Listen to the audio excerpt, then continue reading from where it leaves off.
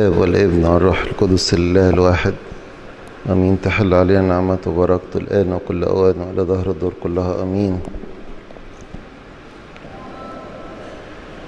آه المرة اللي فاتت خدنا محاضرتين مدمجتين وبأكرر وأقول إن المحاضرتين دول ممكن هيكون قيمتهم في المعرفة أو حجمهم في الامتحانات على الأقل نص الامتحان.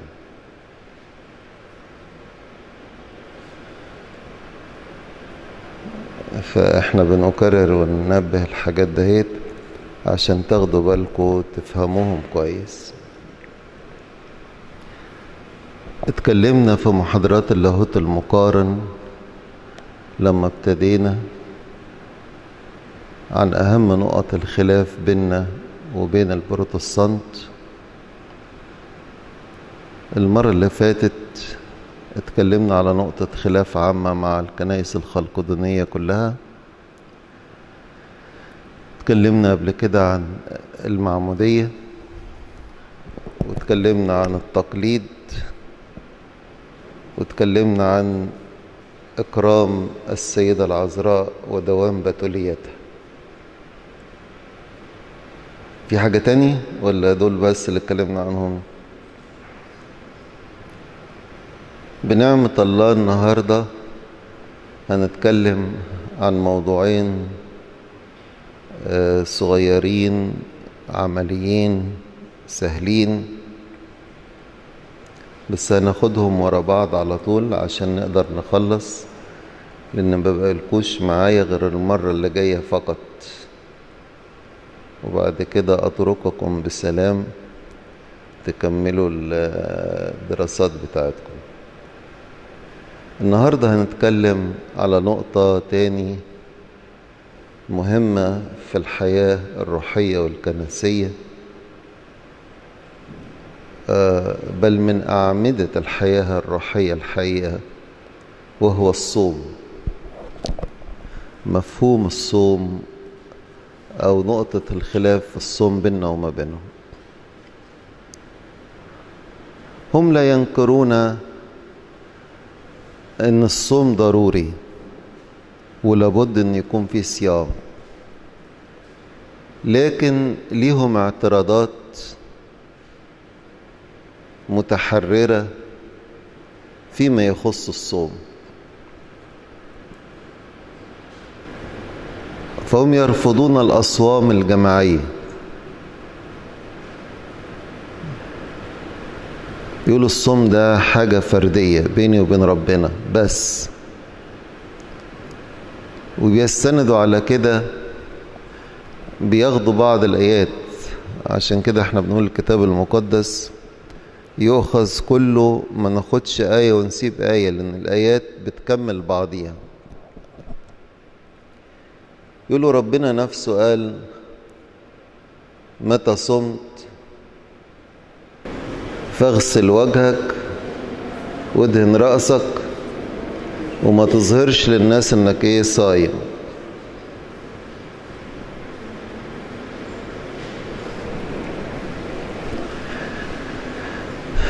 إحنا لا ننكر الصوم الفردي. لكن في نفس الوقت نقر ونؤكد على الصوم الجماعي.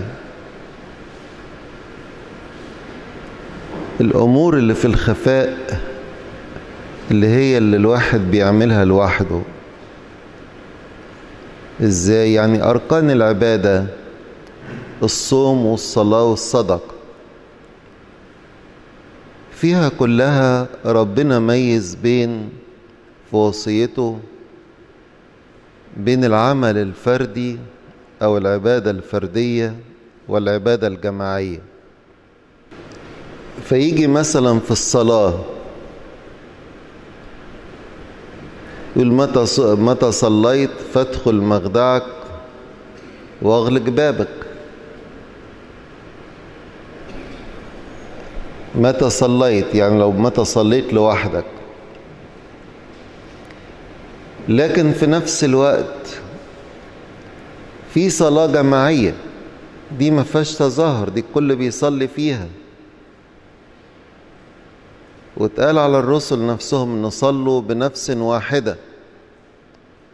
صاموا وصلوا بنفس واحدة أيام ما بطرس دخل السجن.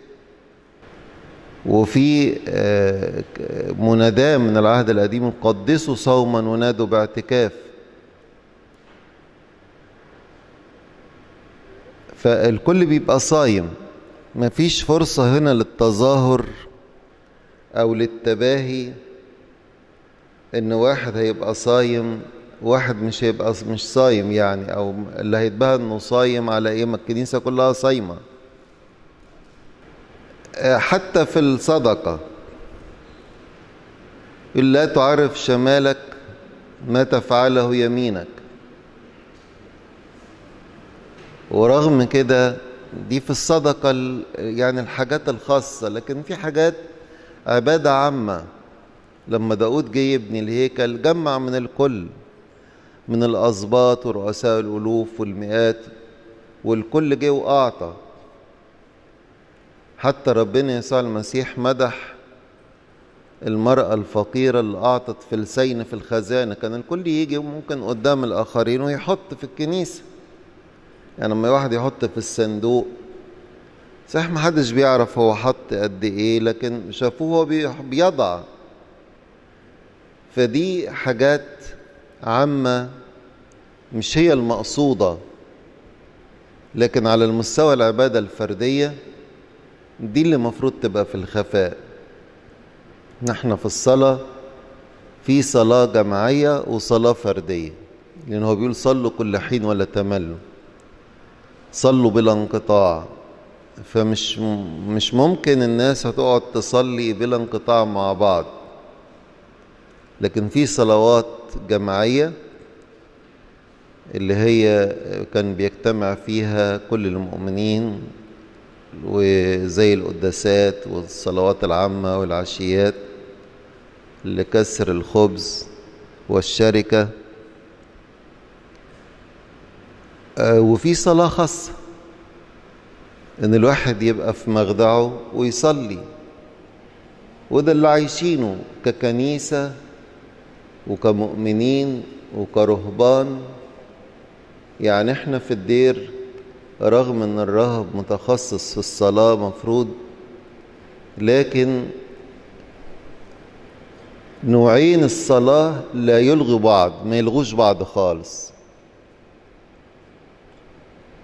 يعني مش عشان الواحد حضر الصلاة في الكنيسة ما يصليش لوحده. وما ينفعش واحد يصلي بمفرده وما يصليش في الكنيسة. لكل صلاة وقتها دي مطلوبة ودي مطلوبة. كذلك في الصوم أيضا. يعني هي أركان العبادة قلنا الصلاة والصوم والصدقة. ما ينطبق على الصلاة والصدقة؟ ينطبق على الصوم أيضا. والكتاب نفسه إذا كانوا بيقولوا إن الأمور دهيت هم كتابيين فيها فالكتاب نفسه هو اللي علمنا كده. فهتبص تلاقوا مثلا أهل نينوى لما يونان راح ونادى عليهم. كل البلد صامت حتى الحيوانات صوموها كمان.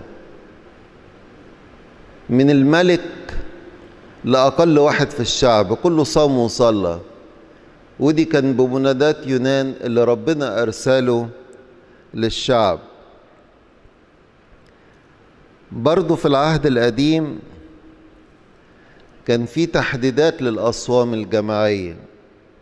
في نحمية يقول في اليوم الرابع والعشرين من هذا الشهر اجتمع بنو إسرائيل بالصوم وعليهم مسح وتراب. ما بيتكلمش عن فرد واحد بيتكلم عن بني إسرائيل كلهم. وعزرا يقول ناديت بصوم على نهر أهوى لكي نتذلل أمام إلهنا لنطلب طريقا مستقيمة لنا ولأطفالنا ولكل ما لنا. يويل طبعا يقول الآية المشهورة اللي بنرددها دايما قدسوا صوما نادوا باعتكاف اجمعوا الشعب قدسوا الجماعة ده في العهد القديم. في العهد الجديد أما قالوا لماذا يصوم تلاميذ يوحنا وتلاميذك لا يصومون؟ قال لهم متى رفع العريس حينئذ يصومون. وبالفعل بعد الصعود الآباء الرسل كلهم صاموا معا بنفس واحدة. وتكرر هذا الأمر عن الصوم الجماعي عدة مرات كما ورد في سفر الأعمال يقول وفيما هم يخدمون الرب ويصومون. نتكلم بالجمع. قال الروح القدس افرزوا لي برنابا وشاول للعمل الذي دعوتهما إليه. فصاموا. فصاموا حينئذ وصلوا. ووضعوا عليهما الأيادي. القديس بولس لما كان في السفينة صام هو وكل أهل السفينة مع بعض عشان ربنا ينجيهم. فدي أمور يعني ليس فيها رياء كما يدعون.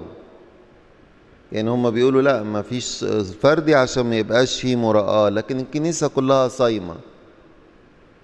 تشوفوا الجمعة الكبيرة مثلا لما الكل بيجي وصايم. تفتكروا حد هيفتخر على التاني أنا صايم؟ يعني ما كل صايم. يعني الشاذ اللي هو ما بيبقاش صايم. وهكذا في الأصوام. فهم يعترضون على أن الصوم يكون في الخفاء. ويرفضون الصوم الجماعي. لا ده الواحد يعيش في حرية مجد أولاد الله كل واحد براحته خالص. أنا عايز أصوم وقت ما أحب أحدد أصوم هصوم. يعني حاجة على المزاج خالص. ويرفضوا تحديد مواعيد للصوم. لا ما حدش يحكم علينا في صوم. والغريب إن يستشهدوا بآيات من الكتاب المقدس. في حين إن ربنا نفسه في الكتاب حدد أيام للصوم. كما جاء في سفر زكريا يقول صوم الشهر الرابع وصوم الشهر الخامس وصوم السابع وصوم العاشر. دي كلها كانت مواعيد أصوام عامة لازم كل شعب الله يصومها. لكن هم يجوا يمسكوا في آية واحدة ويفسروها بمعنى مختلف. يقولوا إيه الكتاب بيقول لا يحكم أحد عليكم في أكل وشرب. لا يحكم عليكم أحد في أكل وإيه وشرب. في حين إن الآية دهيت لا علاقة لها بالصوم خالص. دي اتقالت في السياق إن حد يحرم حاجة. يقول دي لا محرمة. ممنوع أكل اللحم ممنوع كذا ممنوع كذا. لكن ما قالش لا يحكم أحد عليكم في صوم. لأن الكنيسة لها السلطان. ربنا هو اللي اداه للكنيسة. لكن هم استخدموا الآية اللي هي ربنا بيتكلم عليها إن في كان أول ما دخل آه الإيمان المسيحي كان اليهود. فكان في أمرين. في حاجات كان بعض اليهود عايزين اللي يدخل المسيحية يعيش الحياة اليهودية. وفي بعض بدع الناس ابتدعوا بدع يقولوا لا يعني الزواج حرام واللحم حرام والخمر حرام. ويحرموا حاجات. فطبعا حكاية لا يحكم عليكم ديت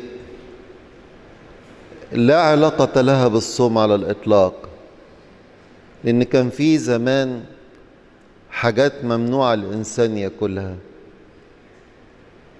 لكن لما جه ربنا قابل الأمم في الوقت اللي كورنيليوس دخل فيه الإيمان وبطرس كان رافض المبدأ فمن قبل ما يجوا ينادوا لبطرس ربنا أعلن له الرؤية إن شاف ملاية كبيرة فيها كل الحاجات الممنوعات.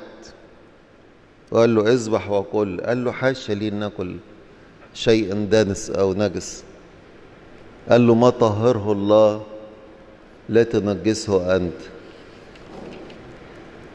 طب إيه علاقة ديت بقبول الأمم. ربنا زمان كان بيتعامل مع البشرية كزي إحنا بنتعامل مع طفل لسه صغير.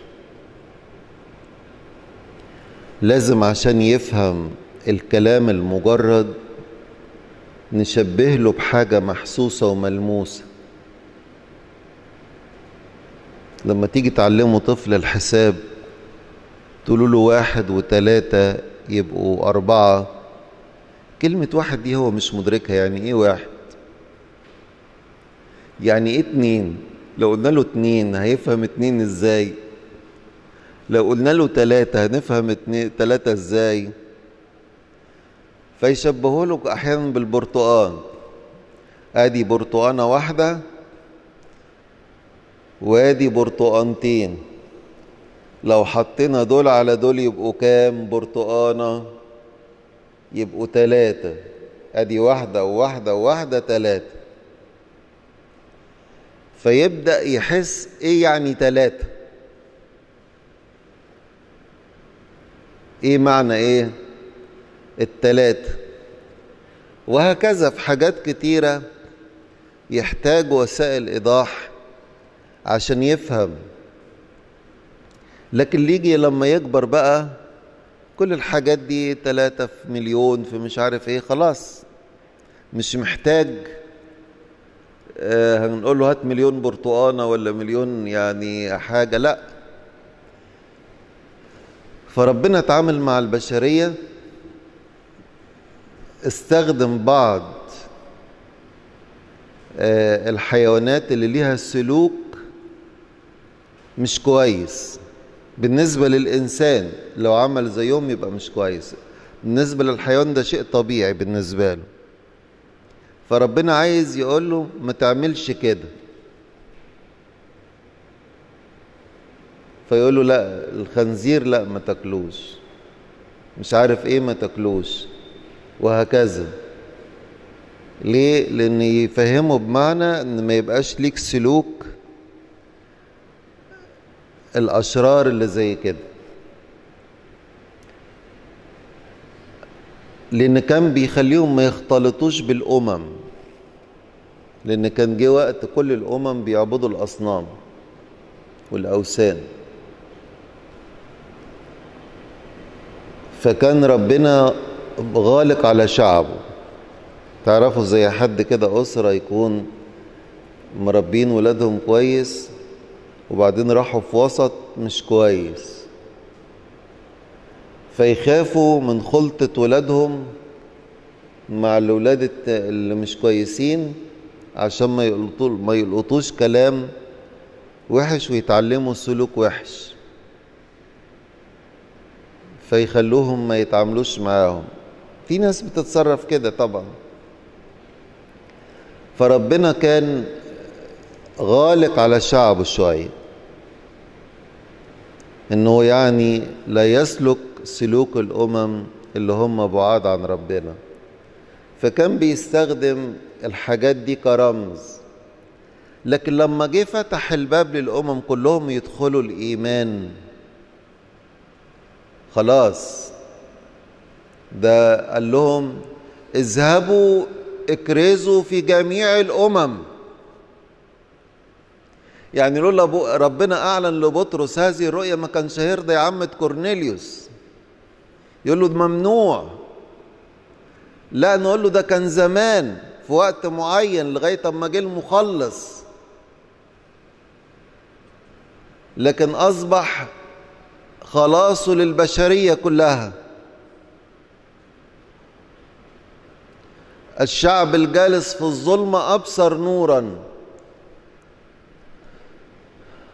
يقول جاء إلى خاصتي وخاصته لم تجب أما الذين قبلوه فأعطي لهم سلطان يصيروا أولاد الله. فهنا كان الهدف من لا يحكم عليكم أحد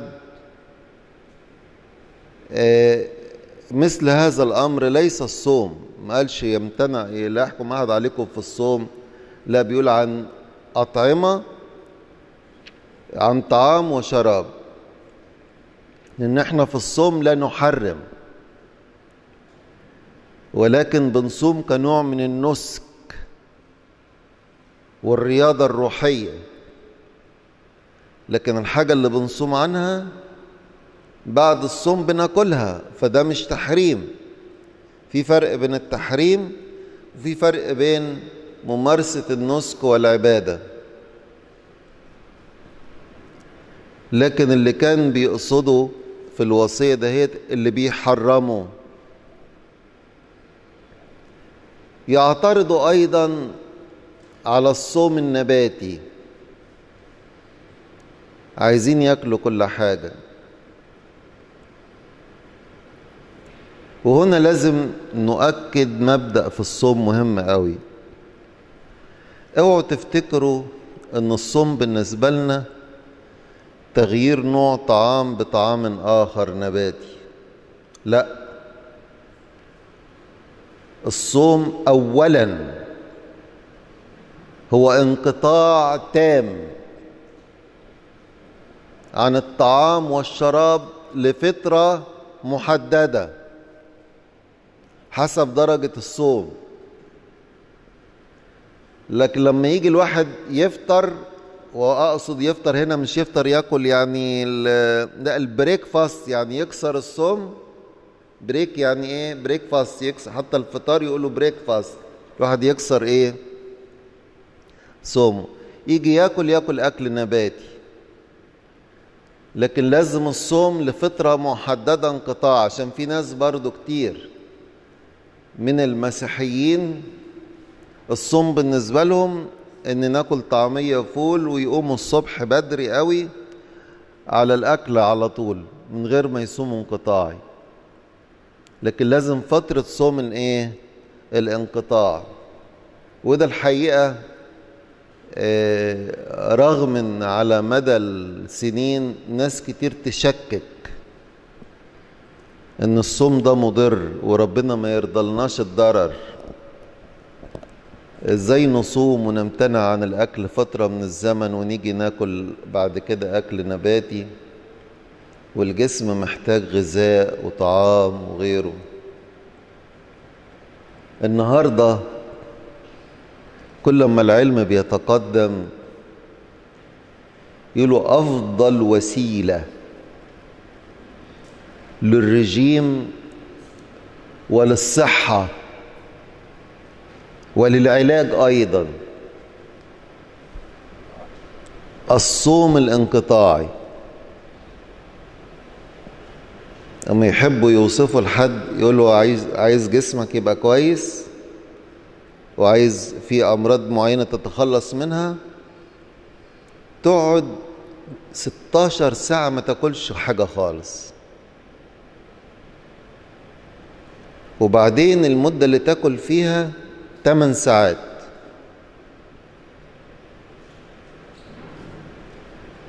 ستاشر أو 8 ساعات. لما تتدرب شوية ممكن تبقى ست ساعات.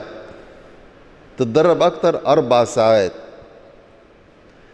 وبعد كده تاكل كويس يعني بس ما تزودش في المواد الضارة اللي هي فيها يعني سكريات كتير. يعني أو حاجات كربوهيدرات كتير. لكن خلي الفترات اللي تاكل فيها مدة محدودة لكن الصوم لازم يكون انقطاع. ما ينفعش الواحد ياخد إيه بيسموها إيه في السكة كده سناكس أو إيه بيسموها حاجة تاني بالعربي.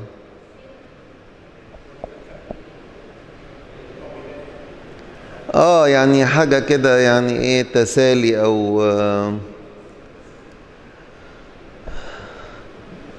سناكس هي طبعا عارفينها لكن المهم يعني هي كده يعني. مش عارف اللي, اللي بيقولوها إيه. المهم الواحد ما ياكلش في السكة حاجة. يقولوا دي أهم حاجة. يعني أما تيجي تشوف كده التوصية إن لازم يكون صوم انقطاعي. صوم إيه؟ انقطاع. يقولوا ممكن 16 ساعة يبقى كويس ممكن تزيد كمان. عشان يبقى له نتيجة ما يقلش عن 12 لكن 16 كويس وممكن يعمل كده. نيجي نحسب ال 16 دي.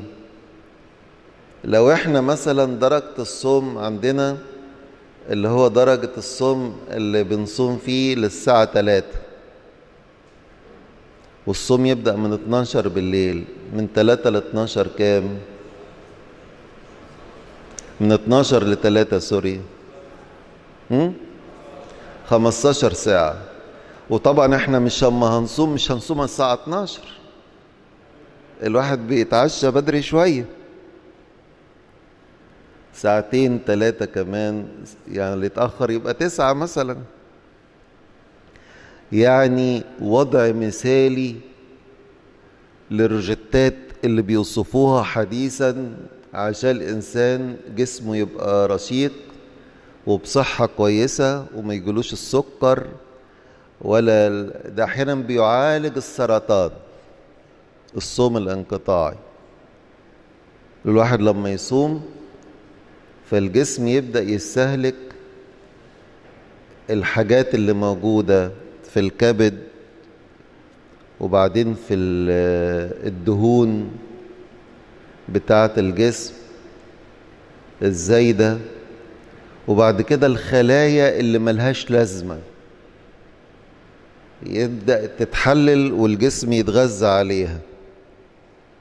فكل الخلايا اتضرت لو هي بتتلف لوحدها والجسم يمتصها. يسموه العلاج بالصوم. فهنا الصوم عشان يبقى صوم سليم يبقى لازم فترة من الانقطاع. أحيانا في ناس بدافع الرشاقة والجمال والصحة يصوموا أكتر من النوع التعبد وتقوية الإرادة. لكن في كل الأحوال الصوم مفيد. حتى مش لو كان مش لوجه الله فبرضه هو إيه مفيد. وده يورينا إن كل حاجات وصايا ربنا هي لخير الإنسان. كل وصية ربنا عملها لخيرنا. اوعوا تفتكروا ربنا بعايز يحرمنا من حاجة أو يخلينا عايشين مش مبسوطين. أكتر ناس يستمتعوا بالأكل والطعام الصوامين. اللي بيصوم كده تلاقي نهار فترة طويلة يجي ياكل أي لقمة كده يحس طعمها جميل وحلو ويبقى عنده نوع من الرضا وعدم التذمر. وده عاجبه وده مش عاجبه. يبقى عايز أي حاجة ياكلها وخلاص بدل ما يعمل مشاكل في البيت كل شوية. أنتوا بتعملوا الأكل اللي مش على اللي يعجبكم مش اللي عاجبني. فتلاقوا بيفيدوا. فعايز أقول حتى العلم والطبيعة تتماشى مع فكر كنيستنا الجميل في الصوم الانقطاعي. وبعد كده الواحد ياكل أكل نباتي. يقولوا جبتوا النباتي منين؟ نقول لهم الكتاب المقدس. ده الإنسان أصلا خلق نباتي. ربنا لما خلق آدم وحواء قال له من جميع شجر الجنة تأكل أما شجرة معرفة الخير والشر لا تأكل منها. وظل الإنسان نباتي حتى بعد أن سقط الإنسان في الخطية. وبدأ يسمح له بأكل اللحوم إمتى؟ بعد الطوفان وتلاقوا أعمار البشر في الفترة اللي الإنسان كان بيتغذى فيها نباتي كانت طويلة وبصحة جيدة ربنا لما خرج شعب بني إسرائيل من أرض مصر وحب يطعنهم اداهم المن. ما كانش أكل حيواني. بعد كده تذمروا فاداهم السلوى وتعاقبوا على التذمر دوت. لكن لما بدأ معهم بدأ إيه؟ بأكل مش حيواني. طبعا كلنا عارفين قصة دانيال والثلاث فتية لما وضع في قلبه أن يتنجز بقى طيب الملك ولا خمر مشروبه. وجه القائم عليهم. أما قالوا له هات لنا شوية قطاني بقول يعني. فخاف. قال ده الملك معيني مخصوص عشان أكلكوا كويس وتظهروا قدامه أصحاء أقوياء. عشان تقدروا تشتغلوا كويس. فانتوا كده هتضروني. قالوا له معلش جربنا وشفنا. فبص لقاهم بقوا أكثر صحة وأكثر حيوية وأكثر قوة من اللي كانوا بياكلوا كل القطايب وكل اللحوم. وطبعا الأكل النباتي مفيد يعطي قوة وفي نفس الوقت لا يثير الجسم. عشان كده تلاقوا أكلات اللحوم فيها افتراس مش مش عشان قوية. تلاقوا كائنات صغيرة لكن تلاقوا فيها افتراس وهي بتاكل عشان أكلات لحوم. وممكن كائنات قوية جدا ومسالمة تلاقوها أكلات النبات. يعني الغذاء بيغص بيأثر على سلوك الإنسان. تلاقوا الفيل ده قوي جدا جدا. الفيل ده الزلومة بتاعته دي في منتهى القوة. يعني ممكن لو لف الزلومة بتاعته على أسد يجيبه نصين. ورغم كده مسالم تلاقوا في جنينة الحيوانات طفل صغير راكب فوق الفيل وبيلعب. وهكذا كل الكائنات اللي هي آكلة النباتات. الغذاء بيأثر في السلوك بصفة عامة. عشان كده تلاقوا الشعوب سماتها بتختلف من شعب الآخر ليه بتختلف سمات الشعوب؟ لأن بتختلف العادات. من ضمن العادات الغذاء. تلاقي كل شعب له نمط معين في الغذاء بياكل إيه؟ وتلاقي سلوكه بيتأثر بنوع غذائه. الشعب الإنجليزي ياكلوا الخنزير كتير. تلاقي كده عندهم برود أعصاب عشان كده اشتهروا بالجراحة مثلا. الشعب الفرنسي ياكل الخرفان أكتر. تلاقي أكثر يعني إيه آه إحساسا يشتهر بالفنون أكتر وبالأدب. آه إحنا نفسنا تلاقوا في وقت الصوم الواحد يشعر إنه خفيف و... وفي حيوية بس يصوم صح. لكن أحيانا الناس تضر نفسها في الصوم أول لما تصحى تبدأ تحط بقى الزيت والمقليات وغيره والنشويات وياكلوا كتير بلا توقف بحجة عشان يعوضوا قلة إن ما بياكلوش لحم. فتلاقي تجيب نتيجة عكسية. لكن لو الإنسان فعلا يصوم انقطاعي يجي ياكل نباتي وجرب وعرف السر هتلاقي كل الشعوب بقت صايمة. الكل عايز يصوم. ليس من أجل العبادة والطاقة ولكن من أجل الإيه؟ منافع الصوم. لكن إحنا وصايا ربنا نافعة لكل شيء بصفة عامة. لكن ده طبعا بيختلف عن التحريم.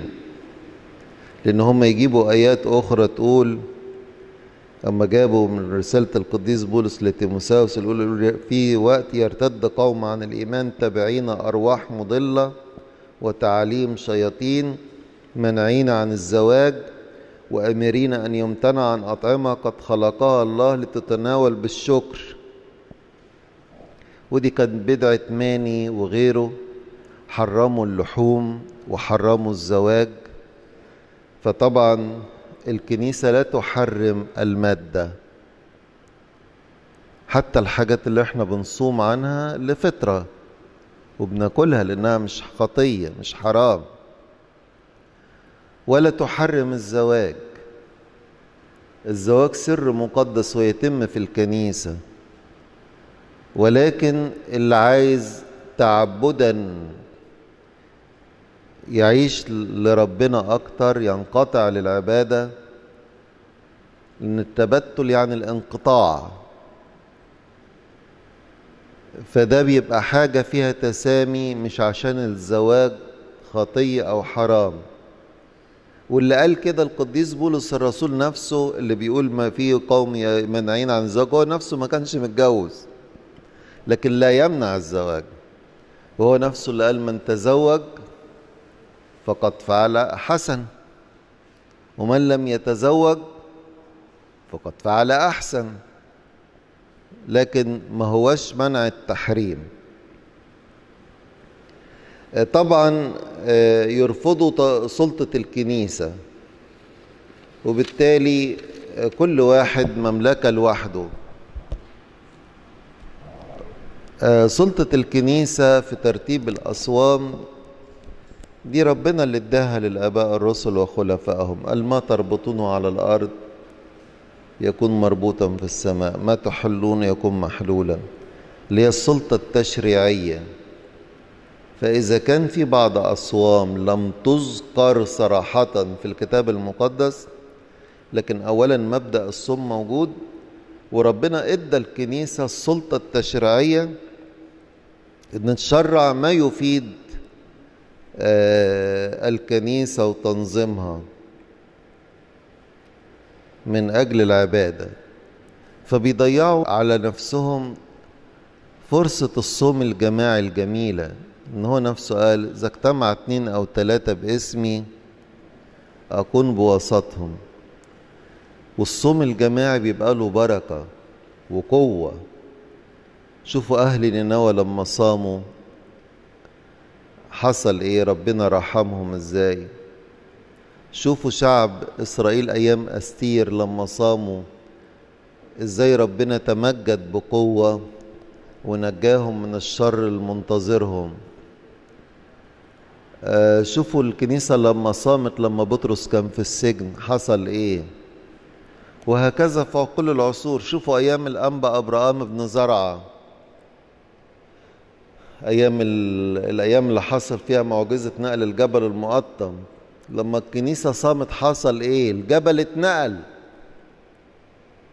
فدي كلها بركات الصوم الجماعي. اللي البروتستانت بيحرموا نفسهم منها. هكتفي بكده بالنسبة للصوم وننقل في موضوع آخر. نفصل ما بينهم بترتيلة كويسة هقولوها أنتوا وبعد كده ننقل الموضوع التاني. حافظين إيه؟ الموضوع التاني اللي هنتكلم فيه النهاردة موضوع قصير آه وهو خاص بفكر عند البروتستانت اللي هو موضوع الملك الألفي. بعض البروتستانت بيعتقدوا إن السيد المسيح قبل المجيء التاني هيجي يملك ألف سنة على الأرض ويكون فيها سلام وأمان وسعادة. لكن بعد ما تنتهي الألف سنة تيجي الضلالة الكبيرة والناس تضل وتبعد عن الإيمان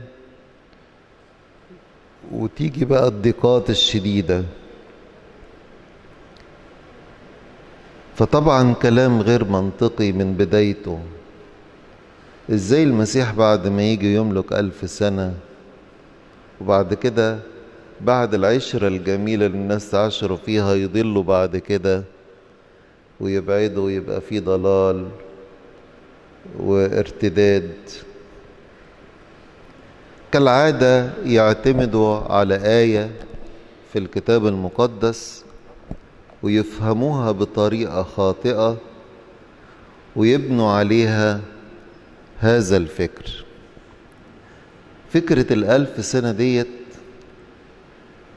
لم ترد قط في الكتاب المقدس إلا في موضع واحد في الإصحاح العشرين من سفر الرؤيا ووردت بمعنى لا يعني على الإطلاق المعنى اللي هم استخلصوه وبنوا عليه فكرهم هذا.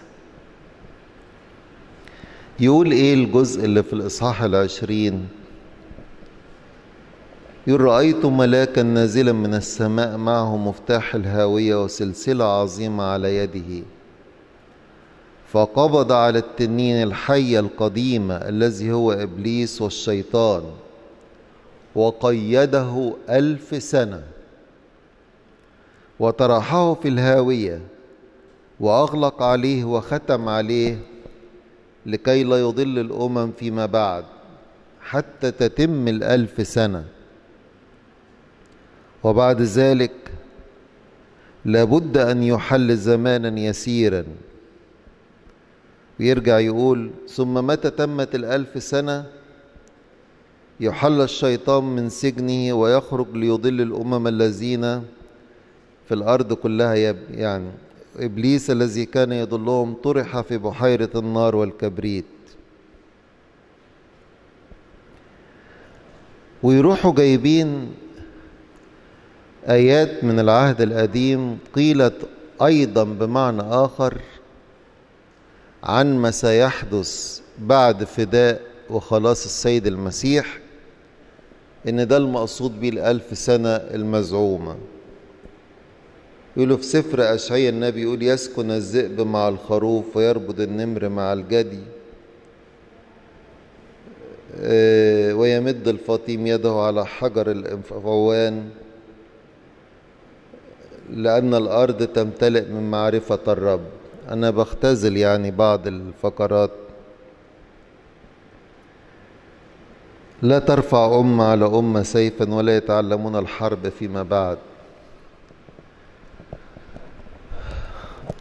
فطبعا الكلام ده كله مش مظبوط لأن السيد المسيح لن يأتي إلا يوم الدينونة. الكلام ده حصل من أول ما صعد. صعد أمام أعين تلاميذه فالملائكة قالوا لهم ما بالكم شخصين كده ليه؟ اللي أنتوا شفتوه صاعد ده هكذا سيأتي. أيضا. إمتى هيجي؟ قال تأتي ساعة فيها يسمع كل الذين في القبور صوته؟ فيخرج كل الذين صنعوا الصالحات إلى قيامة الحياة والذين صنعوا السيئات إلى قيامة الدينونة. معلمنا بولس الرسول في الرسالة للتسالونيكي أما اتكلم عن المجيء الثاني قال فإنه لا يأتي إن لم يأتي الارتداد أولا. مش هو يجي وبعد كده يحصل الارتداد لا. قال فإنه لا يأتي إن لم يأتي الارتداد أولا. ويستعلن إنسان الخطيئة ابن الهلاك. المرتفع على كل ما يدعى معبودا أو إله حتى أنه يجلس في هيكل الله كإله مظهرا عن نفسه أنه إله يعني. يأتي بكل عمل الشيطان بكل خديعة الاسم في الهالكين ليهلك ولو أمكن المختارين أيضا. كل الحاجات دي القديس بولس الرسول قال لن يأتي إلا بعد الحاجات دي ما تتم. لكن البروتستانت بعضهم أو كتير منهم يقولوا إنه هيجي يملك ألف سنة وبعد كده إيه تيجي الضلالة بعدين. لكن طبعا كل معطيات الكتاب لا تتكلم إلا على المجيء يوم الأخير. اللي يأتي في مجد ليدين الأحياء والأموات. ده إحنا بنقول كده في قانون الإيمان. بنقول ليس, لملكه انقضاء. مش هيجي ألف سنة المسيح لما يملك ليس لملكه انقضاء. ملكوته ملكوت أبدي. يقول فإن ابن الإنسان سوف يأتي في مجد أبيه مع ملائكته وحينئذ يجازي كل واحد حسب عمله.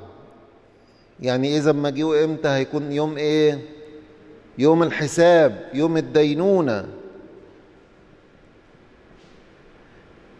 ويقول ويبصرون ابن الإنسان آتيا على سحاب السماء بقوة ومجد كثير. فيرسل ملائكته ببوق عظيم الصوت. فيجمعون مختارين من الأربع الرياح من أقصاء السماوات إلى أقصائها. دي متى 24 نتكلم طبعا على المجيء الثاني.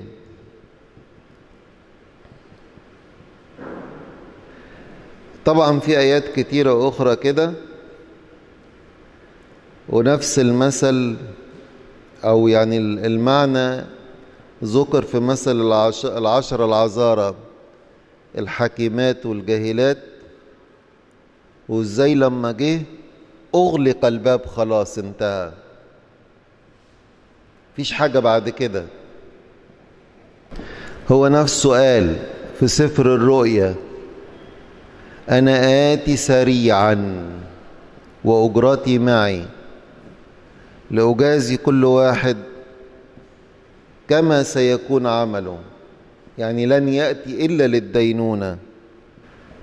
فطبعا الكلام الأول اللي بيتقال إنه يجي يقعد أولا كلام غير منطقي لأن إيه الفايدة اللي هتعود من مجيئه ألف سنة وبعد كده يبقى في ضلال وارتداد؟ إيه الهدف؟ لا هدف بالعكس الأمر لا يليق. هو نفسه رفض الملك الأرضي وقال مملكتي ليست من هذا العالم. فيجي يملك على الأرض إزاي هو رفض الملك الأرضي؟ وفي سفر القضاء مثل حلو قوي في قصة يسام أما بيقول إيه؟ أخبر يسام فذهب ووقف على رأس جبل جرزيم ورفع صوته ونادى قائلا لهم اسمعوا لي أهل شكيم يسمع لكم الله. مرة ذهبت الأشجار لتمسح عليها ملكا فقالت للزيتونة املكي علينا. فقالت الزيتونة أترك دهني الذي به يكرمون بي الله والناس وأذهب لكي أملك على الأشجار؟ رفضت. قالوا للتينة قالت أترك حلاوتي وثمري الطيب وأذهب لكي أملك على الأشجار؟ لا ما ينفعش. فقالوا للقرمة املكي علينا. فقالت لهم أترك مستاري الذي يفرح الله والناس وأذهب لأيك لكي أملك على الأشجار؟ فما لقوش قدامهم غير مين؟ العوسج اللي هو الشوك. فقبل قال آه أنا أملك. أدي الملك الأرضي. ربنا بكل مجده آه قال مملكتي ليست من هذا الإيه؟ العالم. ثم وصف أن ليس لملكه انقضاء. ده بنقوله في قانون الإيمان. يأتي في مجد أبيه ليدين الأحياء والأموات الذي ليس لملكه انقضاء. في بشارة الملاك بميلاد ربنا يسوع المسيح يقول ويملك على بيت يعقوب إلى الأبد. ما قالش ألف سنة. ولا يكون لملكه نهاية. ورد في نبوة دانيال. أعطي سلطانا ومجدا وملكوتا لتتعبد له كل الشعوب والأمم والألسنة. سلطان سلطان أبدي ما لن يزول وملكوته ما لن ينقرض. طب ملك المسيح ده أما الملاك بشر العذراء ورد في نبوة دانيال. إحنا عارفين إن ملكه إلى الأبد ما لا ينقرض لكن متى يبدأ؟ متى يبدأ؟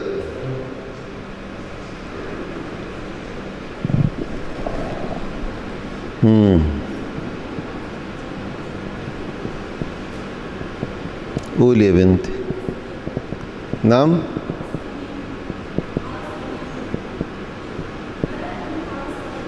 على الصليب صح. عارفين إحنا بنقول في المزمور الرب ملك على خشبة.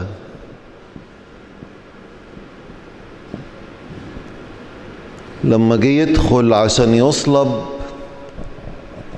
في أحد الشعانين استقبل كملك.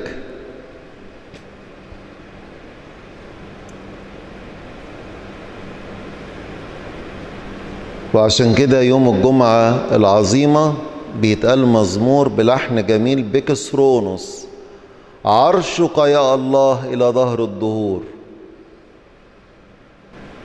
إن ملك. بالفداء الذي قدمه. يقول معلمنا بطرس الرسول عالمين أنكم أفتديتم بدم كريم كما من حمل بلا عيب ولا دنس دم المسيح. افتدانا من يد رئيس هذا العالم. الرئيس هذا العالم يأتي وليس له في شيء. لكن لما أتى إليه على الصليب ملوش حاجة فيه لكن ما اكتفاش بكده ربنا ده قبض عليه وأطلق كل الذين تحت عبودية الشيطان واللي كان ممسكا بأرواحهم. وأصبحنا وكل المفديين ملكا للرب. فالمسيح ملك على الصليب وقيد الشيطان. طب هنا في نقطتين. إن أنت إزاي قيد الشيطان وما زال إن في شر وفي خطية وكده.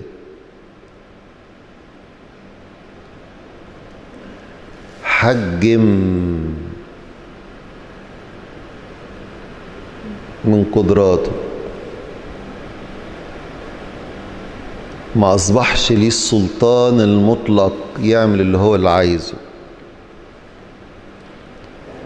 لما كان مطلق جه وقت كل العالم كل البشر كانوا ضلوا.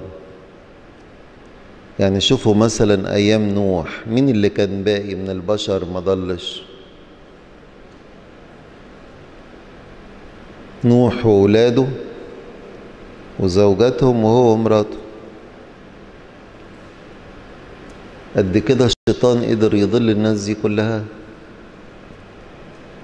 أيام أبونا إبراهيم قال له اترك عشيرتك أهلك وعشيرتك.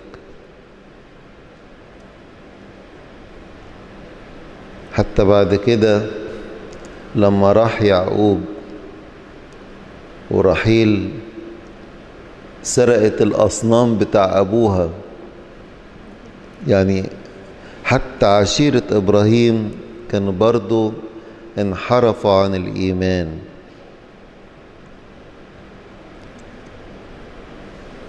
فكان الشيطان مطلق اليد. لكن هنا قيدوا زي يكونوا ربطوا بسلسلة. نطاقه محدود. يقول لا يدعكم تجربون فوق ما تستطيعون. وقيدوا بإيه؟ بالنعمة.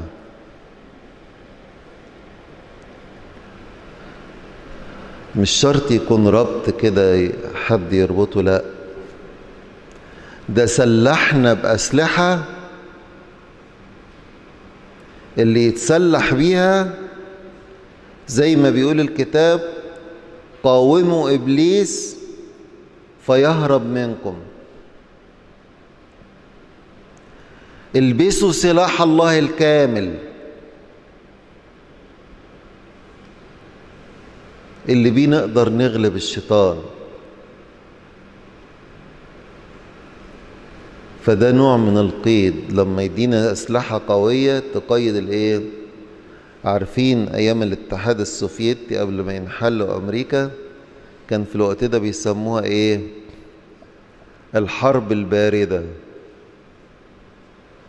دي دولة قوية جدا وتملك من الأسلحة والعتاد الضخم المدمر القوي والجهة الأخرى الاتحاد السوفيتي كذلك.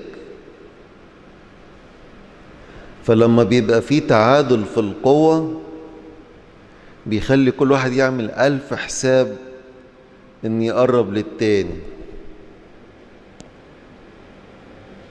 ودي بتحصل حتى في الطبيعة اما تلاقوا كده وحشين بنفس القوة. يجوا فوق قصاد بعض.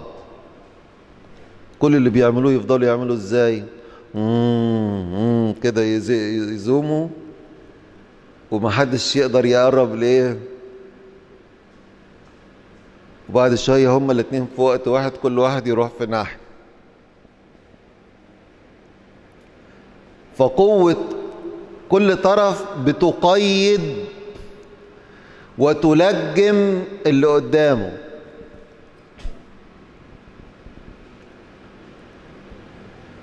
فعشان كده يقول البسوا سلاح الله الكامل.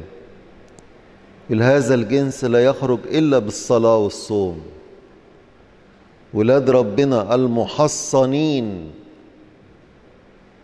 المدربين. تعرفوا زي اللي بيحاربوا بيبقى في تدريبات. الموضوع الأولاني اللي اتكلمنا عليه النهارده اللي هو إيه؟ الصوم. ده من ضمن التدريبات الروحية لتقوية الإرادة. إن مش كل حاجة الشيطان يقولها لنا نجري وراه لا. يكون عندنا الإرادة القوية. زي ما معدتنا كده تجوع وأنا عايز آكل أو أشم حاجة ريحتها حلوة عايز آخدها أقول لا. أنا صايم. إحنا صايمين ما ينفعش آكل دلوقتي. ما ينفعش آكل الصنف ده دلوقتي. فهنا شوية شوية الإرادة عضلات الإرادة بتقوى. الواحد يقدر يقاوم النوازع القوية يقول لها لأ بسلطان.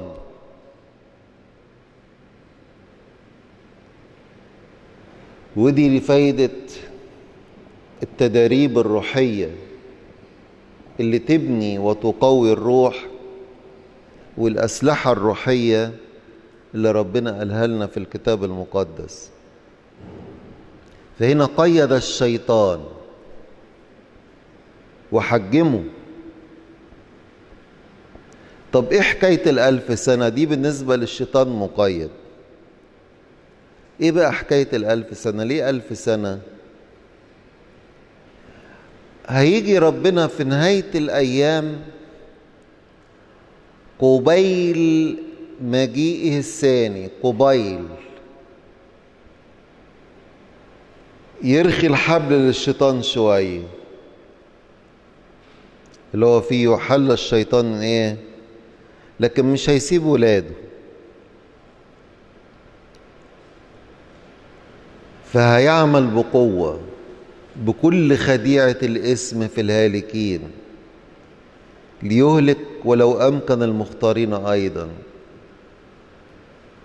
لكن حتى في الفترة دهيت ربنا مظبطها. يقول لو لم يقصر الله تلك الأيام لم يخلص جسد.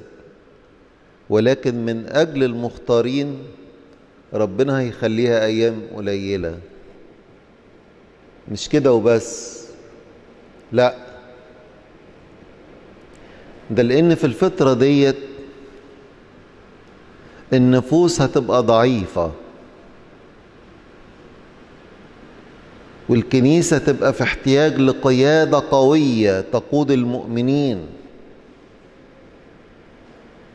لها قوة روحية عظيمة وجبارة. عشان كده ربنا بعلمه السابق عارف كل هذه الأمور وبحكمته وحنانه. أبقى لينا أخنوخ وإلي أحياء. لم يذوق الموت حتى الآن. ففي الفترة اللي هيظهر فيها الدجال اللي هو ضد المسيح اللي الشيطان هيديله كل قوته ويستخدمه هنا يأتي أخنوخ وإيليا ويقاوموه.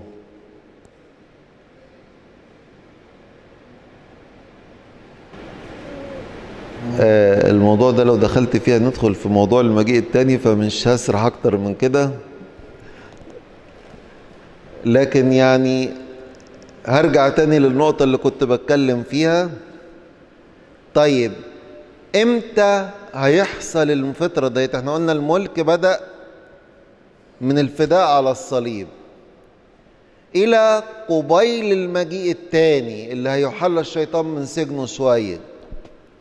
الفترة دي قد إيه؟ هذه الفترة فترة من الزمن يريد الله أن تكون غير معلومة للبشر. لأن قال ليس لكم أن تعرفوا الأزمنة والأوقات التي جعلها الآب في سلطانه. فعشان كده غلفها بعدد من أعداد الكمال.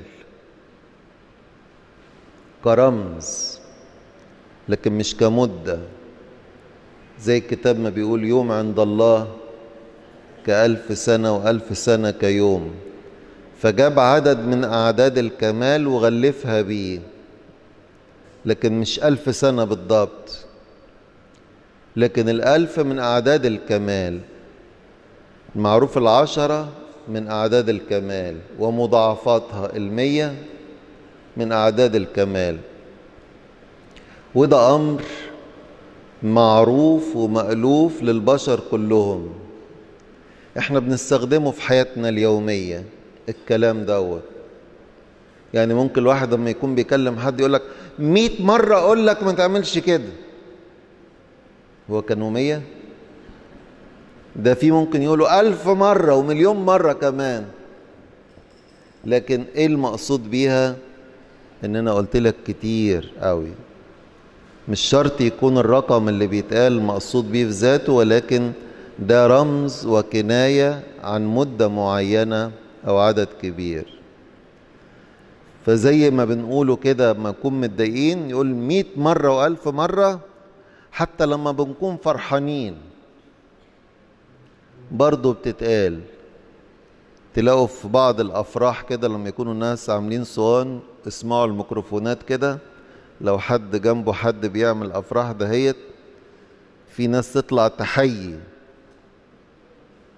يكون بقى اللي واقفين على المسرح واقفين فيبدأوا يقولوا فلان الفلاني فلان الفلاني فلان الفلاني فلان الفلاني. ألف مرة ألف مرة. طب اشمعنى ألف؟ اشمعنى ألف؟ لأن عدد من أعداد الإيه؟ الكمال. فهي فترة يريد الله أن تكون غير معلومة للبشر. فغلفها من عدد من أعداد الإيه؟ الكمال. اللي بعديها سيحل الشيطان من سجنه لكن ملكوت الله لن ينقرض. وقال أنا معكم إلى انقضاء الدهر. حتى في الفترة دي هيكون معانا. لن يترك كنيسته. ولكن من أجل المختارين يقصر تلك الأيام. من أجل المختارين أبقى أخنوخ وإيليا كل ما في الأمر إن إحنا اللي بنتراخى في التسلح بصلاح الله الكامل. لكن اللي يتسلح بصلاح الله الكامل من ما يخافش من حاجة ولا يعول هم حاجة يعني. أنا هكتفي بكده عشان ما نأخركوش ونجاوب الأسئلة. في واحدة من بناتنا بتقول صلي لي يا أبي كتير أنا تعبانة. موجوعة وتايهة بفكر في الانتحار مرات كتير لكن برجع بفضل ربنا لكن الشيطان دايما بيحاربني إن أنا ضعيفة الشخصية سواء في شغلي أو بيتي وخدمتي. أنا خايفة من ضعفي أبي صلي لي يقول لي أعمل إيه؟ أنا حاسة نفسي وحيدة. وغير محبوبة مع العلم إني متزوجة وعندي أولاد. الإنسان لما بيصلي ما بيشعرش إنه وحيد. بالعكس يقول أستطيع كل شيء في المسيح الذي يقويني. أنا ما أنا لكن نعمة الله فيا. ويشعر إنه محبوب منه. بيشعر إن ربنا بيحبه وسمح له يقف ويكلمه يقول انظروا اية محبة أعطانا الآب حتى ندع أولاد الله وندعوه آبانا. فواضح صاحبة السؤال دوت مش مواظبة على الصلاة كويس. لكن الإنسان اللي بيشبع بربنا يقول له معك لا أريد شيئا على الأرض. مش هيفرق معاه كتير مشاعر الآخرين ولا نظرتهم. يكفي إنه يكون واثق إن ربنا بيحبه بحاله كده لأن هو اللي خلقه. وإنه مهتم بيه. فعلاجك يا بنتي تقربي من ربنا وتصلي وتتكلمي معاه كتير. الدنيا ما تستاهلش إن الواحد يخسر أبديته عشان إحساس كاذب. ممكن يكون أنت بتقلك كده ويكون بالعكس. ولادك بيحبوك وجوزك بيحبك آه اللي حواليك. يعني ليه بتعتبر إن الكل ما بيحبكيش؟ عشان إيه؟ انت خدي مبدأ كل ما يريدين ما تريدون أن يفعل الناس بكم افعلوا هكذا أنتم أيضا بهم. والكل فعل رد فعل. عاملي الناس كويس ممكن يعاملوك كويس. أحيانا بيبقى إحنا اللي بندفع اللي قدامنا يعاملنا مش كويس. لكن في كل الأحوال أهم عنصر هو الصلاة اللي الواحد يشعر إنه محبوب من ربنا وموضع اهتمامه فما يفكرش في حاجة زي كده. لو حد سافر السماء ونفسي أشوفها أعمل إيه؟ وهل ممكن لو زنيت على ربنا وصليت المجمع كله يوميا هيسمح لي أشوفها؟ مش شرط يعني يكفي بنحس بال باللي انتقلوا ونناجيهم يبقى نوع من المناجاة. والدنيا قصيرة. ما حدش يشعر إن في اللي سابنا وخلاص. كل يوم بيعدي بنقرب من اللقاء. ربما يكون اللقاء أقرب مما نتصور. فما ننشغلش بمشاعر سلبية تفقدنا سلامنا وسعادتنا واستعدادنا للأبدية بمشاعر غير ناضجة. مشاعر جميلة وحلوة لكن بالإيمان نخليها مشاعر روحية.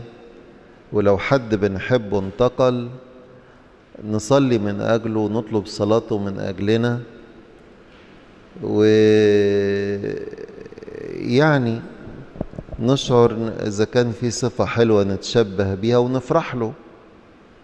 وخصوصا لو كان سيرته كويسة إنه وصل للمينا بسلام ما نبقاش أنانيين.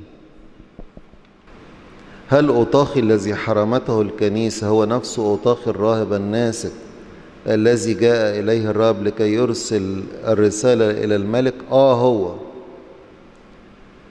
وقلنا إن الكنيسة حرمته مش علشان تحت إيدها ما يدينه عشان في إلحاح من الطرف الآخر لا انه قال وسمعناه. فلئلا يظن. إحنا ولا لا نقبل ما ينسب إلى اوطاخي على الإطلاق. الإيمان اللي هو نسب إليه نرفضه تماما تماما تماما. هو قال ولا اتزور ولا اتعمل مش قضيتنا بقى. لكن إحنا نرفض المضمون دوت خالص ما ينسب إليه.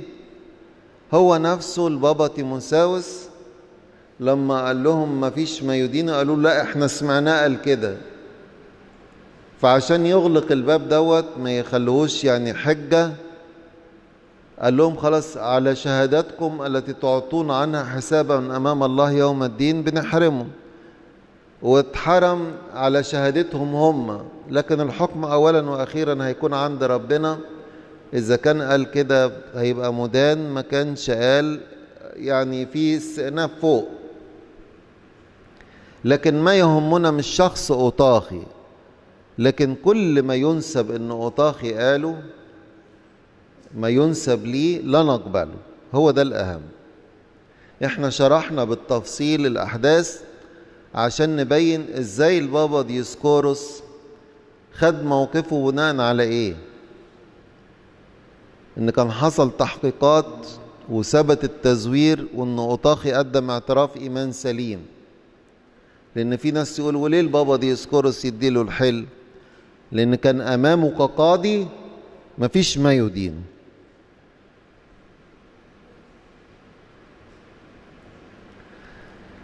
لو في شباب في سن ثانوي بيصوموا لكن بدون أي ممارسات روحية ولا انقطاع ولا يصوموا انقطاعي ولا يعجبهم أنواع الأكل الصيامي هل يكملوا في أصوامهم بهذا الوضع ولا تعب على الفاضي؟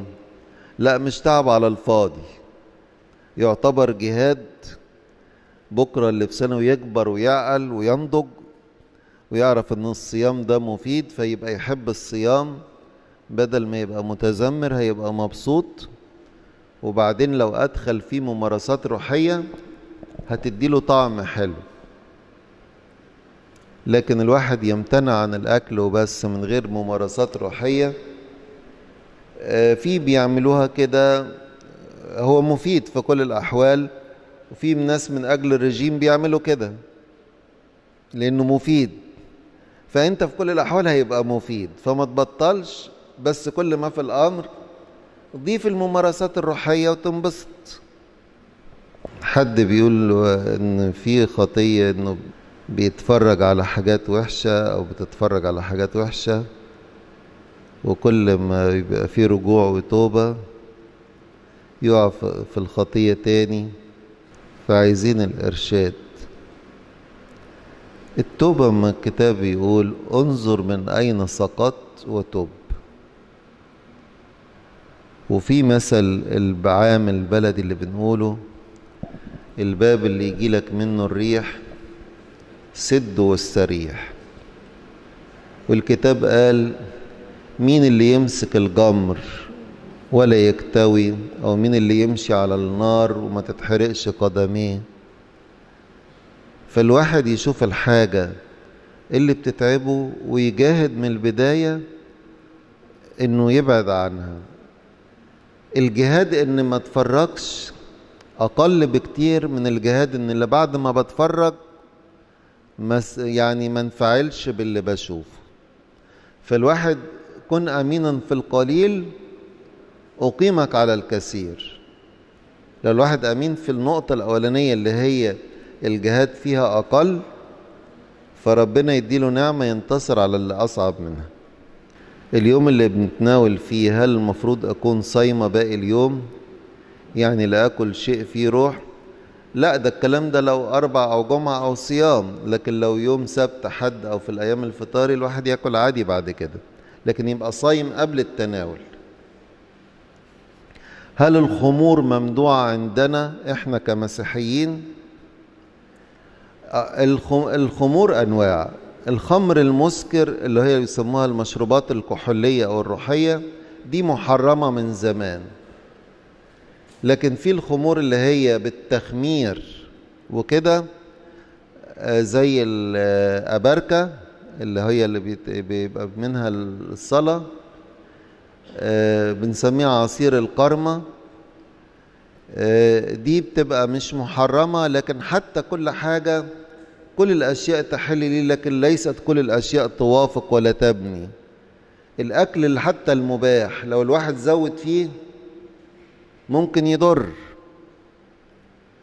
لكن الخمور اللي هي مسكرة دي محرمة طبعا. هل عندنا أكل محرم؟ لا مفيش أكل إلا المخنوق والدم وما ذبح للأوثان. ده محرم. في سؤالين بخصوص إعداد الخدام. بيقول هل لدى نيافتكم علم بضياع بعض أوراق الامتحانات؟ لا اللي يقول كده يقول لنا فين لأن ما عندناش علم بكده ومتأكدين إن ما فيش. اللي بيقول كده يكتب لنا يقول ضاع فين؟ في أي مركز وفي أي كنيسة. لكن كلام عام كده لا يؤخذ به على الإطلاق. لابد إن يكون كلام محدد واضح. لأن لا علم لنا بذلك والأوراق كلها موجودة ما جاليش أي تعليق أو خبر إن في حاجة ناقصة. اللي عنده شك في كده أو عارف حاجة يقول لنا فين. هو يعني إيه جسورا؟ يمكن الكلمة دي خدوها لما قلنا على البابا ديسكورس قال إني مضطر أن أكون جسورا لأن الأمر يتعلق بخلاص نفسي.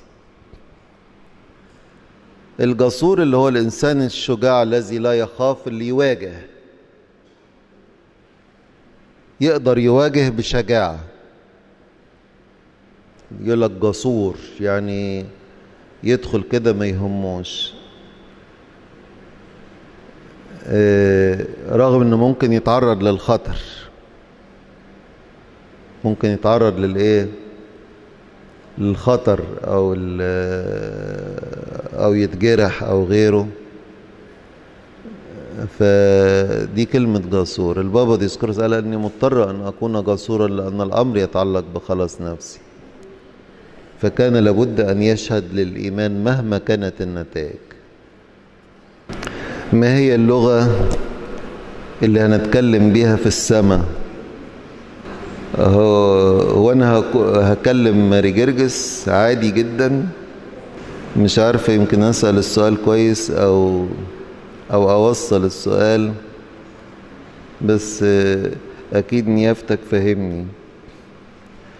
الناس لما يكون في حب شديد قوي بيفهموا بعض من غير كلام. كل ما بتزداد المحبة بيبقى مش محتاجين كلام. في ناس كده اللي يكونوا مع العشرة يحبوا بعض ومعاشرين بعض وعشرة بقى بالطول. مجرد بيبصوا في عيون بعض كده يفهموا بعض. فربما لغة في السماء محدش يعرفها هي إيه. أو ربما تكون بالفكر التواصل الفكري. إن الناس تعرف بفكر بعضيها آه لأن يكون نوع من الشفافية آه والصفاء. لكن ما جربتش ما أعرفش يعني ما فيش حاجة عنه. في واحدة بتقول عندي مشاعر حب وإعجاب تجاه شخص ما داخل الخدمة لكن أنا بحاربها بكل إرادتي. ومش عارفة أعترف بيها. وحاسة إنها خطية. وخصوصا لأنها مرتبطة يعني. طبعا كل إحساسك مظبوط يا بنتي. ممكن نشوف حد ونعجب بيه. أو صفات معينة تخلينا آه شخص يعني فيه صفات كويسة جديرة بالتقدير والإعجاب. لكن الواحد يحجم مشاعره إن ما تتخطاش هذه الأمور. وممكن بقدر الإمكان يتحاشى التعامل اللي ممكن يخلي الأمر يتطور أكتر من كده. فكويس قوي إنك مدركة إن ده يعني عارفة إن أو بتحاربي الحاجات دهيت. وبفكرك ده اللي انت فكرت بيه انت أقدر واحدة تقدري تظبطي الدنيا. بيبقى في أكل فطاري معمول منه أكل صيامي زي اللانشون الصيامي والجبنة وكذا حاجة تانية. فهل لو أكلت منهم في الصيام أعتبر فترة؟ شوف أنا أقول لكم حاجة تريحكم. أهم حاجة في الصيام أولا لابد أن يكون في انقطاع. تاني حاجة نتأكد أن أي منتج بناكله ما يكونش فيه منتجات حيوانية. مش هنحرم حاجة ما فيهاش حاجة يعني مباحة في الصوم يعني مش هنحرمها لا. لكن هي بتبقى شطارة من الإنسان كتدريب روحاني. لو حس إنه متعلق بحاجة قوي وحب يدرب نفسه إنه يمنع نفسه عن حاجة هو يعني عايزها قوي دي بتبقى زي تدريب لكن ما فيش ما يمنع إن طالما حاجة نباتي صرف ومعمولة كده كويس إن الواحد ياكلها ما فيش ما يمنع. أنا كأرثوذكسية هل لو اعترفت عند أب كان كاثوليكي يبقى كده غلط ولا لأ؟ ولو غلط ليه غلط؟ طالما السر هيكمل بالإعتراف في الآخر. الغلط إنك مش فاهمة. الوضع إيه؟ طبعا مع حبنا واحترامنا لإخواتنا الكاثوليك لكن ما فيش شركة في الأسرار مع بعض. ممكن بيبقى فيه تعاون رعوي لقاءات وغيره لكن الشركة في الأسرار لم تأتي بعد. نقدرش نتناول أو نشترك في صلاة طقسية مع بعض يعني. ممكن صلاة عامة كده لكن صلاة لترجية في القداس بصفة خاصة لا. وبالتالي ما ينفعش الواحد ياخد السر خارج نطاق الكنيسة اللي هو التابع ليها. هل هو شيء ملزم في الاعتراف قول تفاصيل الخطية ومتى حدثت أم يكفي الاعتراف بعنوانها؟ حسب يعني أب الاعتراف ما يشوف ما هو مناسب ليك. الواحد ممكن يقول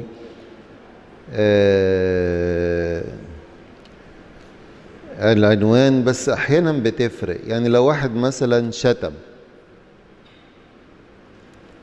لو قال شتمته بس بتبقى حجم الخطية مش واضح. في فرق بين لو واحد شتم ابنه ابن شقي كده وشتمه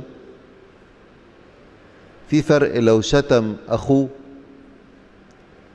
أو حد في الشارع وفي فرق بين لو شتم حد أكبر منه أو شتم أبوه.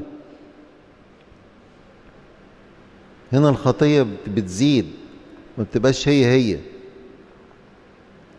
ولكن بتاخد حجمها وقوتها بالمين اللي اتشتم. ففي بعض حاجات بتبقى التفاصيل بتوضح شوية. فابدأ بالعنوان. لكن لو طلب منك بعض التفاصيل عليك بالإدلاء. على قد السؤال. بالقطارة كده كل ما إيه يسأل سؤال لغاية ما تلاقي نفسك خرجت كل حاجة. طرد السيد المسيح الروح الشرير وألقاها داخل الخنازير. هل هذا يعني أن الخنازير كائن نجس وغير مصرح بأكله؟ زي ما قلت لكم إن ربنا بيدي وسائل إيضاح لينا. إن الروح بيسكن في مين؟ اللي يكون له هذا السلوك زي سلوك الخنازير. وبعدين هي لما دخلت الأرواح النجسه الخنازير عملت إيه؟ آه وقعت نزلوها المية وماتت. فحب يورينا إن الشيطان لما بيجي على واحد ممكن نتيجته بتكون الإيه؟ الموت أجرة الخطية. موت.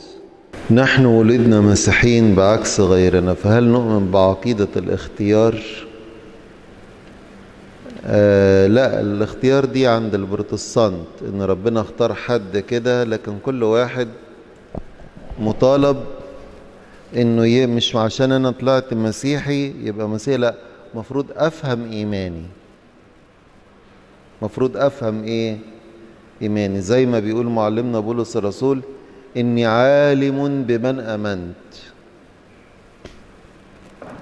وهكذا كل إنسان اتولد في أي وضع لازم ربنا ادانا العقل يدرس إيمانه يفهمه كويس ويكون مقتنع بيه. هيبقى إيماني كمسيحي مش عشان أنا اتولدت وبس لأ لأني مقتنع بهذا الإيمان.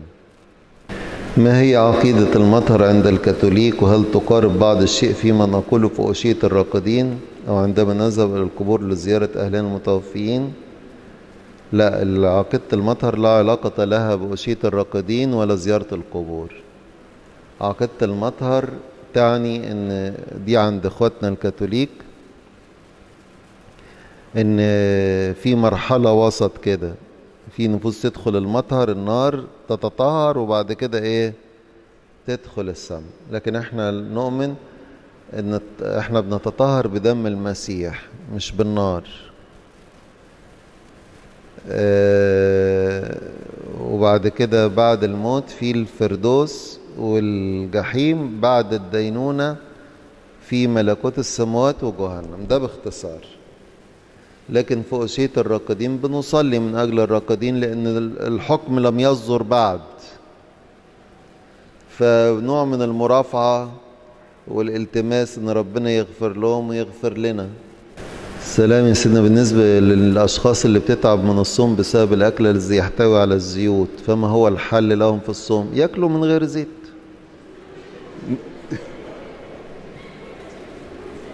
ما يحطوش زيت بسيطة يعني.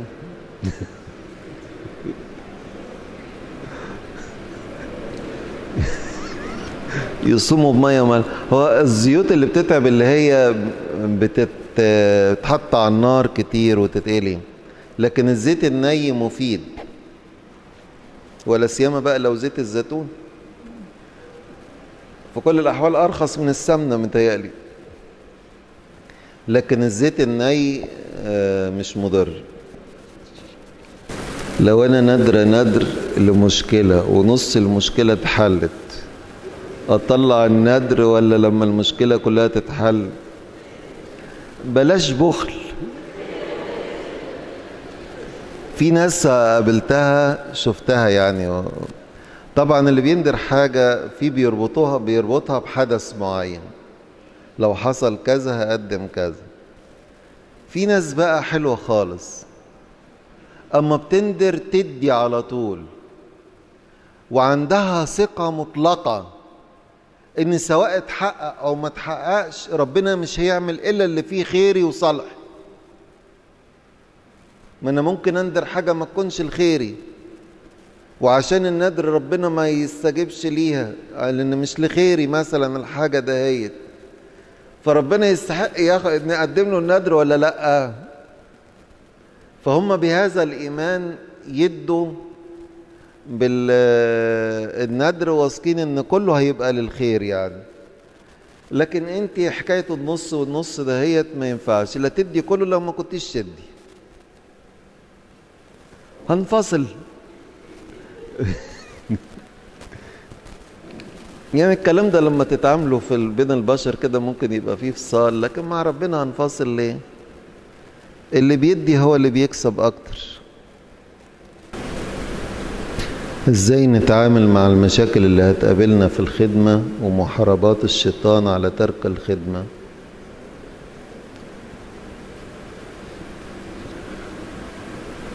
اللي يخدم بروح الاتضاع والخضوع مش هيلاقي مشاكل. إحنا لسه لا رحنا ولا جينا. يقولوا لي اخدم كذا حاضر. روح هنا حاضر. أعتبر ان صوت ربنا في الخدمة. لكن هبدأ أناكف وأقول كده صح وغلط وإزاي ومش ليه؟ يبقى دي مش خدمة بقى. خدمة زي الجيش كده. الواحد يسمع الأمر وينفذه. لكن المناكفة والأخذ والعطا وبعدين نتهم في محاربات. محاربات على إيه؟ هو مين اللي بيتحارب؟ اللي بيتحاربوا دول القديسين الكبار. لكن ده إحنا اللي بنحارب نفسنا أحيانا.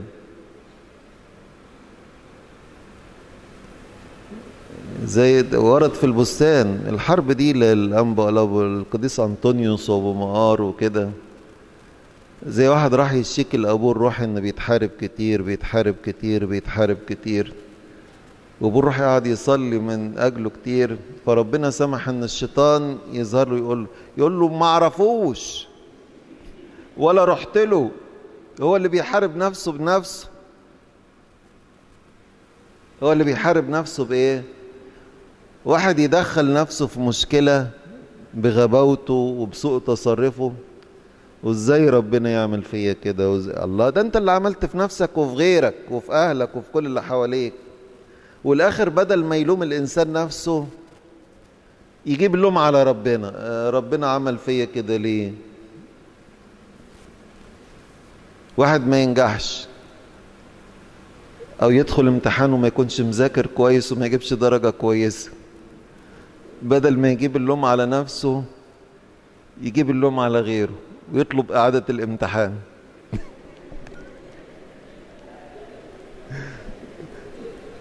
لكن ممكن نذاكر ونحل كويس. هو حاليا يا سيدنا الشيطان مقيد ولا قد حل من سجنه في ظل الظروف المحيطة بالعالم من انحرافات أخلاقية لا حصر لها انحرافات فكرية. انحرافات جنسية الوقت الحالي مقيد ولا؟ ما فيش شك الشر زايد جدا لكن نعمة ربنا موجودة برضو والكنايس مفتوحة والفرصة متاحة لكل إنسان. مشغلش نفسي مقيد ولا غيره. تعرف هو محل من إمتى بالنسبة لكل واحد؟ لما أكون أنا كجندي مش حامل سلاحي. في أي وقت هيبقى كأنه منحل. لأن إيه اللي بيربط الشيطان؟ سلاحي. مهما تحل الشيطان الله عادل لا يدعكم تجربون فوق ما تستطيعون. حيثما كسر الاسم فلتكسر هناك الإيه؟ النعمة. فربنا سبق وقال لنا عشان نتسلح أكتر. وإلا ما كانش حد خلص فبدل ما نشغل نفسنا بكده نقرب منه أكتر. زي القديس يوحنا لما ربنا جه في يوم الخميس وقال لهم الشيطان طرب أن يغربلكم وكلكم تشكون فيا في هذه الليلة. المرة الوحيدة اللي ذكر إن يوحنا قرب من ربنا يسوع المسيح أكتر واتكأ على صدره زي كان بيحتمي بيه.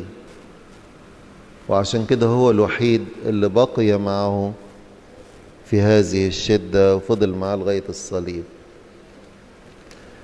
فنقرب منه أكتر وما نعلش الهم. لماذا وضع الله علامة على قايين حتى لا يتعرض له أحد؟ هل كان هناك أحد غير آدم وعشيرته على الأرض؟ لا ما في توالده ما هوش في التو واللحظة. في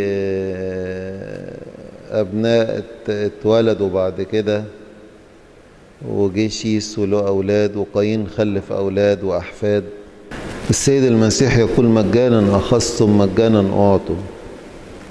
وفي إنجيل اليوم ذكر وأقيموا في ذلك البيت أكلين شاربين مما عندهم لأن الفاعل مستحق أجرته. رجاء.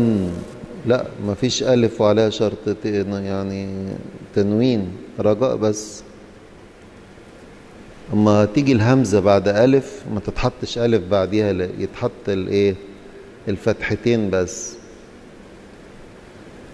أما نقول مثلا مساء مساء يتحط الفتحتين على الهمزة ما يتحطش ألف. لكن صباحا تتحط ألف. فهنا رجاء؟ لا مش رجاء. التوضيح. آه هو ربنا يسوع المسيح أرسل التلاميذ بلا كيس ولا مزود. وقال لهم كلوا مما يقدم لكم. أي بيت أو أي قابلوكم لازم هم اللي بيقبلوهم ويعزموا عليهم. فادخلوا وكلوا مما يقدم لكم. الفاعل مستحق أجرته. آه الكتاب يقول لا تقم ثورا دارسا. لكن ده مش مقابل البشارة. ما هوش تمن للإيه؟ يعني في لو بيت ما قبلهمش مش يعني مش هيعملوا له مشكلة يعني. لكن آه أنتوا مش عايزين التلاميذ ياكلوا ويشربوا حتى مستكترين عليهم اللقمة؟ ده بيقول الكتاب لا تقم ثورا دارسا. رد القديس بولس الرسول قال على الله تهمه السيران ولا بيتكلم من أجلنا. فلما قال كلوا مما يقدم لكم ده حق لأن اللي بيؤمن لازم بيقدم تقدمات. زي في العهد القديم. كان في تقدمات بيعيش بيها خدام الله وفي العهد الجديد كذلك. لكن تقدمات البركات اللي بياخدها مش مشروطة. يعني ما فيش واحد هيجي يعترف عايز يتناول ويابونا يقول له هتدفع كام عشان أناولك؟ مش هيحصل. عايز يعترف. يقول له حسب الخطية نديك التحليل يعني مش هيحصل.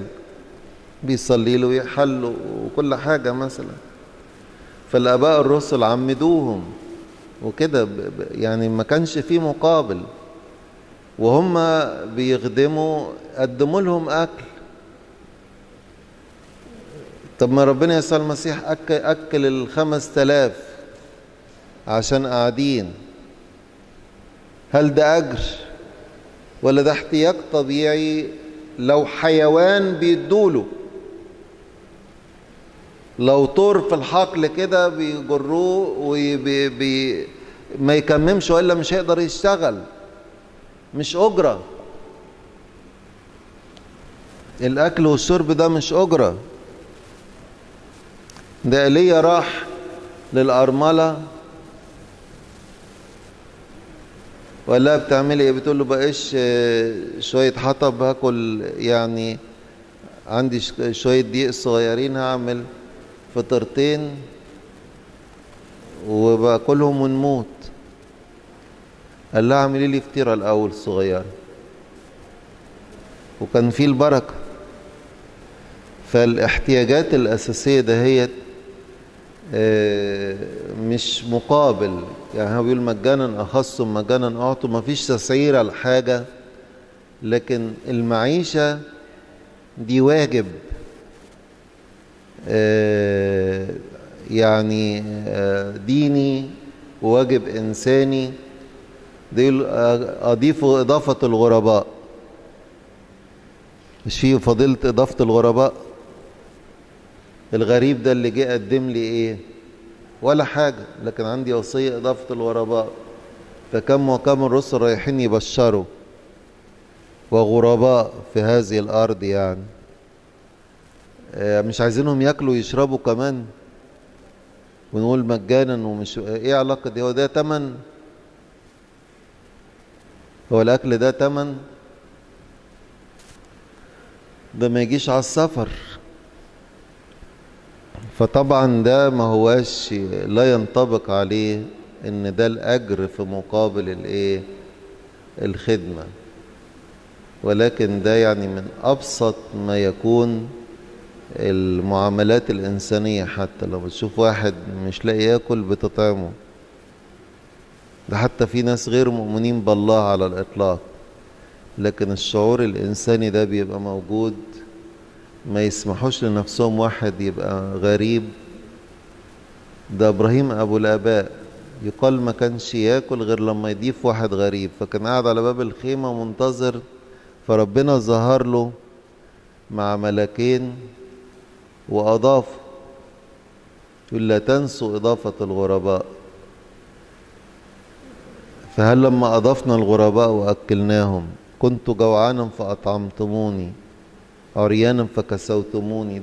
ده أجر بنديه للفقراء ده أجر بنديه للغريب كم وكم لما يكون الآباء الرسل ومن يخلفوهم من رتب الكهنوت المختلفة. ده بيبقى سبب بركة للي في البيت. زي ما إيليا خد فالبركة زادت فبتبقى بركة الناس بتشعر تاخد بركة. يقولوا إحنا خدنا بركة وبالفعل ربنا بيبارك في البيت وفي حاجاته. آه لما الإنسان بيدي منه لربنا. نكتفي بهذا تفضلوا نصلي.